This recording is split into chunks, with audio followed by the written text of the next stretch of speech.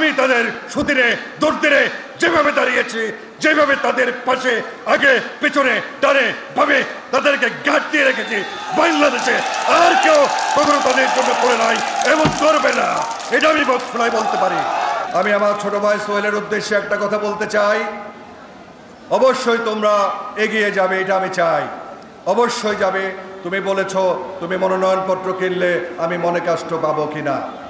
এই ফেনী জেলা থেকে পরপর চারটি নির্বাচনে তিন সিটে ফেনী জেলা আওয়ামী লীগ একমাত্র একমাত্র প্রার্থী হিসাবে তিন সিটে আমাকে নাম পাঠিয়েছে। বাংলাদেশে আর কোনো নেতার ভাগ্যে এটা জুটে নাই কখনো এবং আগামী একশো বছরও জুটবে কিনা শেখ হাসিনা ছাড়া এটা আমি জানি না। সুতরাং যেই সম্মান জেলা আওয়ামী লীগ আমাদেরকে দিয়েছে সেই সম্মানের চেয়ে বড় কিছু পাওয়ার আমার আর কিছু নাই। আমি একটি কথা বারবার বলেছি, নিজাম আমাকে বারবার যেত, প্রায় প্রতি মাসে যায়, প্রতি সপ্তাহে যায় সে আমার কাছে কথা বলে, কতক্ষণ দুই ভাই মিলে কথা বলি। গত রাত্রেও আমরা দুই ভাই প্রায় এক, দুই ঘণ্টা, আড়াই ঘণ্টা পর্যন্ত কথা বলেছি। আমরা ফেনের উন্নয়ন নিয়ে কথা বলছি। কখন, কীভাবে, কোথায়, কি করা যায়? সে একটি কথা শুধু আমাকে বলতো। দু হাজার নির্বাচনের আগে সে আমাকে কাছে গেছে। বলছে, ভাইয়া আপনি ফেনী দুই থেকে নির্বাচন করেন, এক থেকে খালেদা জিয়া করবে। আপনি আসতে হবে না, ঢাকায় বসে নির্বাচন করবেন। তখন নিজাম সংসদ সদস্য পদে নির্বাচন করার চিন্তা করে নাই। ইকবাল সোবান চৌধুরী ছিল তখন আমাদের প্রার্থী হওয়ার সম্ভাবনা। আমি বলেছি, নিজাম, আমি যদি এক ছাইরা খালেদা জিয়ার বয়ে দুইয়ে চলে আসি এমনি তো আমি নিজের কাছে নিজে ছোট হয়ে থাকব। এমপি হলেও তো আমি মাথা উঁচু করে চলতে পারব না। তখন নিজাম বলছিল, ভাইয়া, আপনি এইভাবে চিন্তা করেন রাজনীতিকে। তখন সে আমার পায়ে ধরে সালাম করল। আমার কাছে এটা কোনো লোভনীয় বিষয় কখনো মনে হয়নি, এখনও হয় না। আমি সেদিন বলেছিলাম, নিজাম, তুমি নিজে তৈরি হও, ফেনি দুই থেকে তুমি নির্বাচন করবা। ভাইয়া, আমি এমপি ইলেকশন করব। তখন নিজাম কিন্তু এটা চিন্তাই করে নাই, নির্বাচনের প্রায় এক দেড় বছর আগে।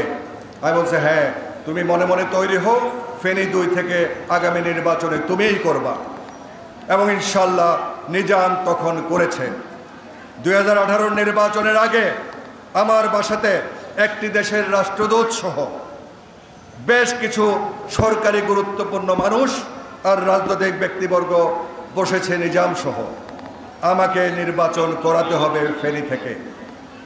তখন নিজাম তাদেরকে বলল, খুব দ্ব্যর্থহীন ভাষায় বলছে দেখেন, ভাইয়াকে নিজের নির্বাচন করার জন্য আমি বলতেছি, কিন্তু উনি করতে চাচ্ছেন না।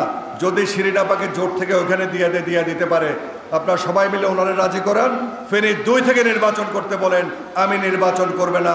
ভাইয়া শক্ত থাকলে আমি ভাইয়ার পিছন থেকে, আমিও শক্ত থাকব। ওনার ওনার যদি জায়গা না থাকে, ওনার যদি পজিশন না থাকে, আমি এমপি হয়ে কী লাভ? এই সম্মান সে আমাকে সেই বিদেশি কূটনীতিক সহ সবার সামনে আমাকে দিয়েছে। কিন্তু সেখানে সেটাই সিদ্ধান্ত হয়েছিল, আমি এক এবং দুইয়ের থেকে মনোনয়ন চাইব যেখান থেকে দেয় নিজাম সহ যখন নমিনেশন পেপার নিতে গেলাম, নিজাম বলল যে দুইটা নমিনেশন এক আর দুই থেকে। আমি বলছি, নো, শুধু এক থেকে। ভাইয়া, দুই থেকে নেন নাইলে যদি না হয়? আমি বলছি, না হইলে না হবে। তোমার সিট যেটা থেকে তুমি, তোমাকে দাঁড় করিয়েছে, সেটাতে যাওয়া আমার পক্ষে সম্ভব না।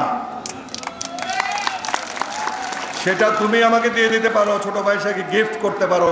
সেই গিফট ছোট ভাই থেকে নিয়ে আমার পক্ষে সম্ভব না। এমপি মন্ত্রী হওয়া আমার কাছে বড় কথা কখনো ছিল না, এখনও নাই।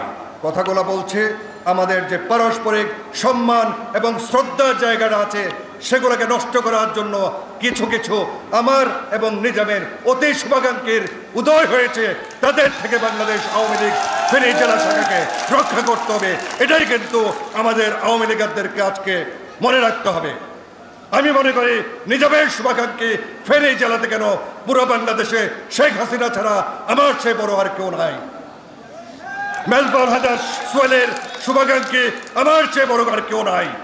কারণ আমি তাদের সুদিনে, দুর্দিনে যেভাবে দাঁড়িয়েছি, যেভাবে তাদের পাশে আগে, পেছনে, ডানে ভাবে তাদেরকে গাঁট দিয়ে রেখেছি, বাংলাদেশে আর কেউ কখনো তাদের জন্য করে নাই এবং করবে না। এটা আমি খোলায় বলতে পারি। সুতরাং যারা এই সমস্ত খেলা খেলছেন, উল্টাপাল্টা নিউজ করছেন, আমি তাদের উদ্দেশ্যে বলতে চাই, বাংলাদেশ আওয়ামী লীগ বড় সংগঠন আমাদের মধ্যে কাজের প্রতিযোগিতা থাকবে। প্রতিযোগিতার মধ্যে আমরা সামনের দিকে ক্রমে এগিয়ে যাব। ইনশাল্লাহ জয় আমাদের হবেই।